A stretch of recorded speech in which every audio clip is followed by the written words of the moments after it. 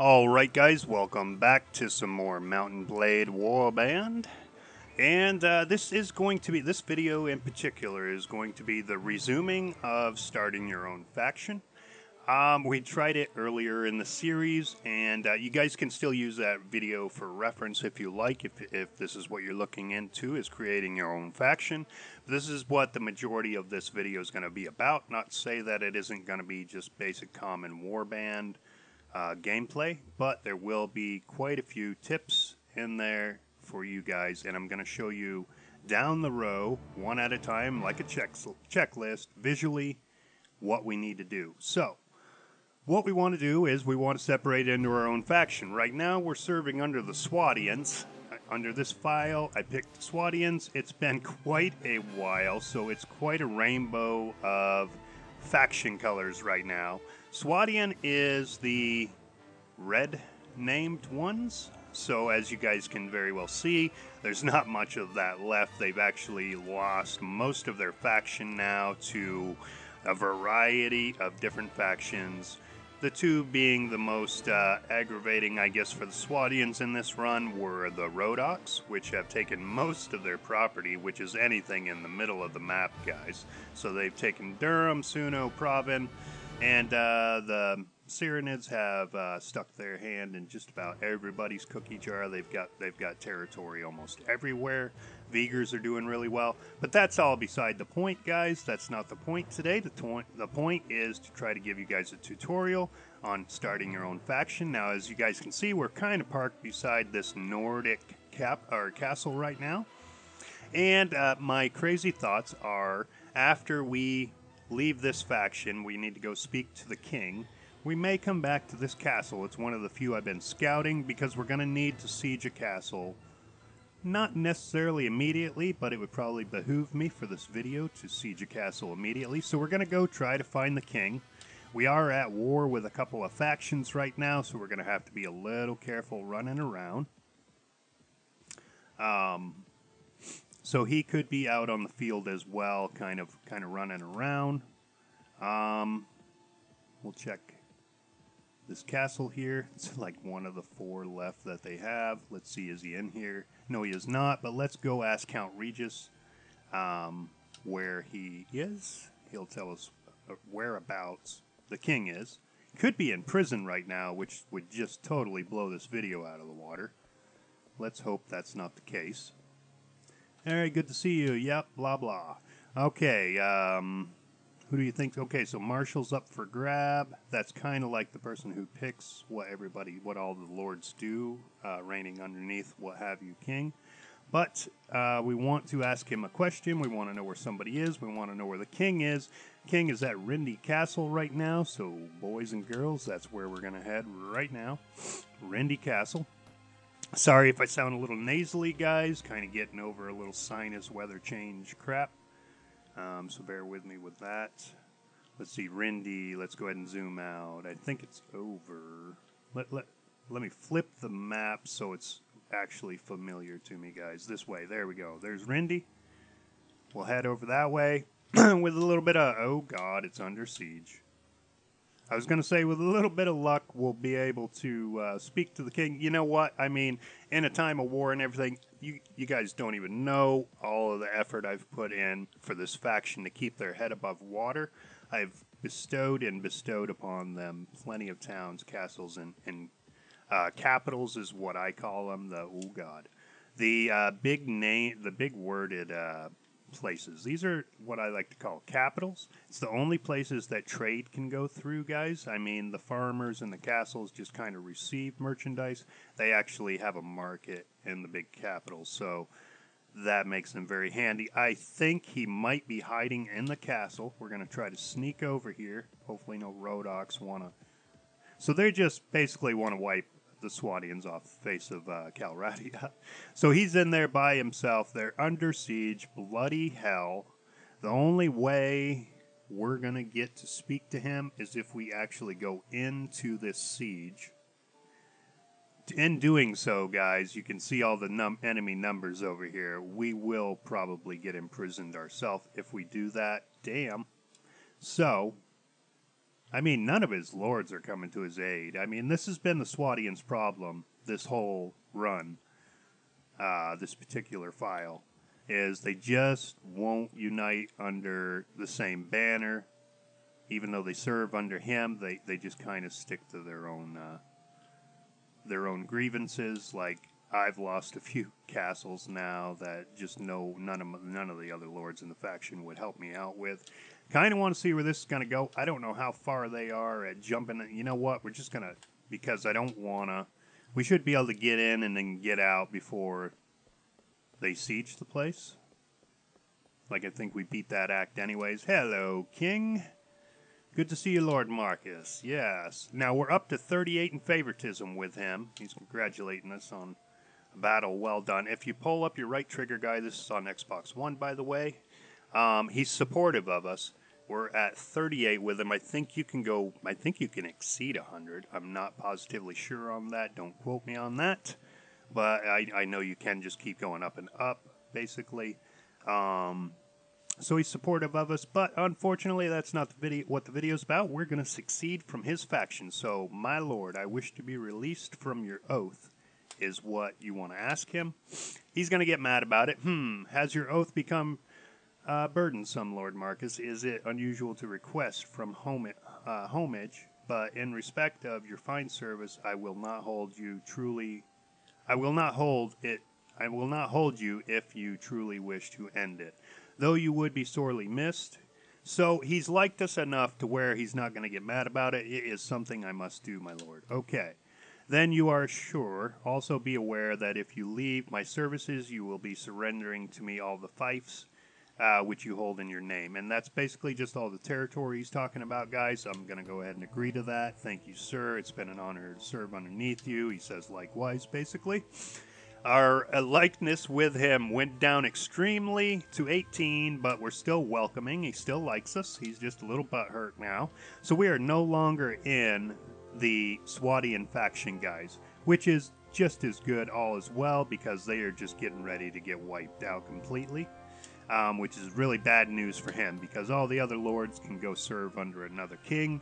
I don't know what happens, honestly, to the Kings guys. Once your faction's wiped out, I think you're just permanently just wiped off of the out of the game. Basically, there's no coming back from that. So that sucks for the Kings of Calradia, which we're aspiring to be ourselves. So we are a free agent right now.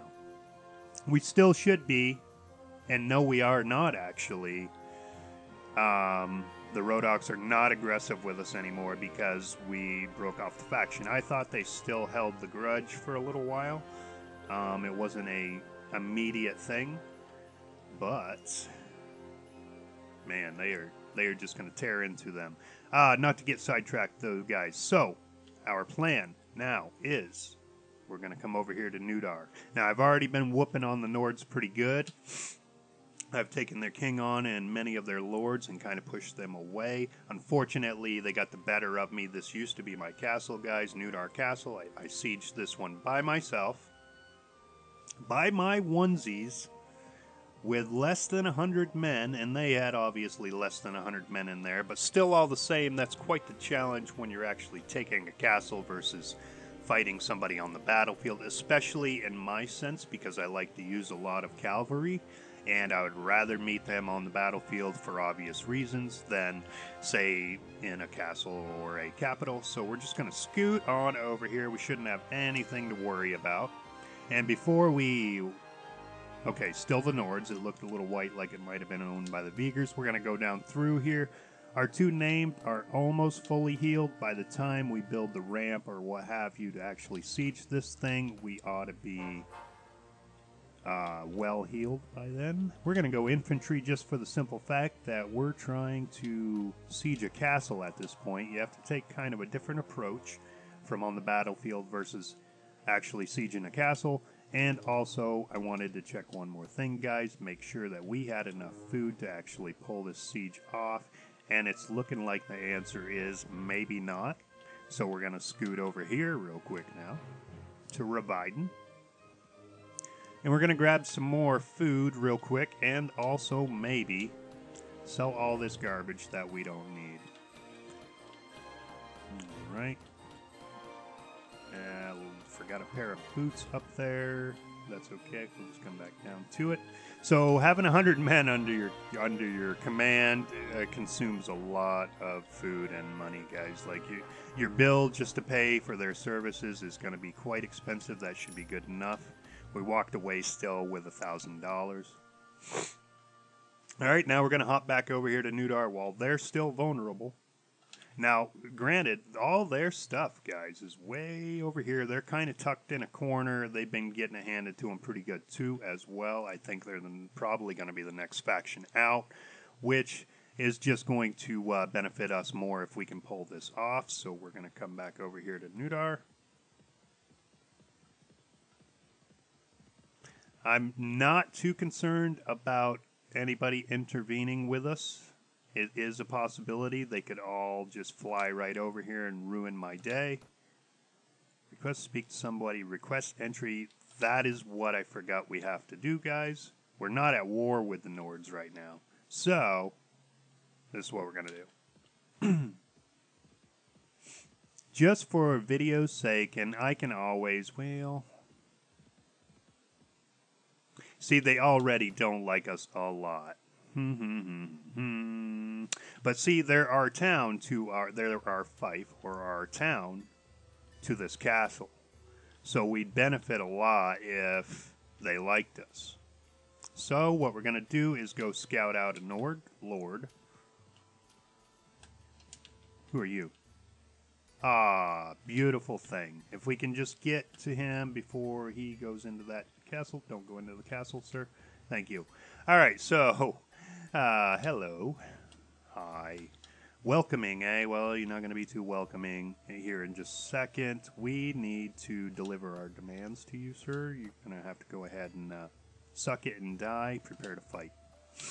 So this action is just to so we can create warfare with the Nord faction. They're going to be pretty upset with us, but that's okay because we're just getting ready to mow these guys right over. They they have no chance. They literally have no chance. I have 22 sharpshooters, 28 elite cavalry, and it doesn't really matter with the four infantry because my cavalry is going to destroy everything before anybody else has a chance. That's why I love Swadian and Vaegir Knights, guys. And I, I am not opposed to grabbing uh, Mamelukes as well from the Sarranid faction. Uh, I'd have to say I like the Sarranid faction a lot, actually. I've never done a playthrough with the Sarranid faction. Always kind of wanted to. I always stick to my guns, which is the Nords or the Swadians. I just, the preference, the style of their uh, military builds and everything works. So our sharpshooters are just kind of taking shots at their shields and stuff. They get a little closer. We'll start picking at them a little bit. Let's go ahead and advance just once to kind of straighten ourselves out to them. To get just a little closer, we'll go ahead and unleash hell on them with the cavalry and this battle will probably be over in a matter of minutes. It doesn't really matter what he has. It looks like he might have a lot of Huscarls or foot foot soldiers. I'm actually happy about that. Don't get me wrong, Huscarls are pretty tough opponents, guys, but when it comes to this Swadian cavalry and Vaegir cavalry, watch what happens. Granted, this is on normal settings, guys. It's not on easy, so don't don't get me wrong. I got my butt literally kicked for the first month, I would say, of gameplay here. Just kind of playing a little bit every day until I got leveled up enough to where uh, it was starting to favor me in battle. I'm just really just swinging and talking, guys. All right, we've already wiped them out. We've got uh, another little set coming. Reinforcements. Or did we already wipe all those guys out as well? No, okay, I think we're heading towards them now. No? We've already wiped them all out. Let's check the board. They've got five guys left. We've already polished off 46 in no time. I'm telling you, it's a beautiful thing, this cavalry military. It's basically the easy button. And when you're working on getting your own faction, why struggle? I mean, don't get me wrong, we bite off more than we can chew every once in a blue moon, but let's say my hundred guys, elite soldiers, can probably handle mid-ranked up to three, four times the amount of men. I've seen it happen. I've done it myself. All right, we pulled that off. Now we're at war with the Nords, and that also. Let's level up a few guys real quick. There's not a lot of advancement right now, just because basically we're top tier. But I mean, 22 knights, guys. That's pretty darn good. All right. Back out of that. Conveniently enough, we're already here. And I think our 103 should handle this 67. All right, we're just going to besiege the castle, prepare the ladders. Ladders don't take as long. It's going to take five hours. It's going to seem like no time at all. It's actually a good thing, really good thing, because it doesn't allow much time for his king and other lords to get to us. So with a little bit of luck, guys, gonna go ahead and hold position. Fire at will. Archers advance. and go ahead and start working on uh, their their line there. We'll let everybody else sit in the back, let them kind of chew on their archers for a minute. And if I can get them to kind of stray their attention away from me, go ahead and whip my crossbow out as well and start working on a few of them. Ooh, I think that went over his head. All right. Now, if you guys don't want to sit through the whole siege, it's only going to take about five minutes. Um, you just don't need to see the visual aid of it all. Then uh, you can definitely skip through this part and on to the next phase of owning your own faction. All right. We need this castle. We, we do. And we need to not take many losses as well. Seems like it's uh, all us so far. I just want our archers to exhaust themselves. Okay. Oh, okay. I still have an arrow. And then uh, and then we'll send everybody in for the ground. Oh, you don't have a you don't have a shield, sir. I'm just okay. Never mind. Somebody else bopped him in the head with that. All right. We'll set off a few more. There we go. One more. All right. Go ahead and have everybody charge. We'll go ahead and have our cavalry charge first. I, I hate sending my knights in, but we'll, we'll mix it up with a few ground troops and uh, archery can support my, my knights. Let's do this, guys. It's all us, no other faction. Let's go.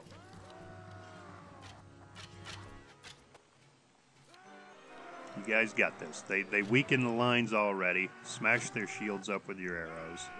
They're still going to be sharpshooting at them with extreme precision, guys.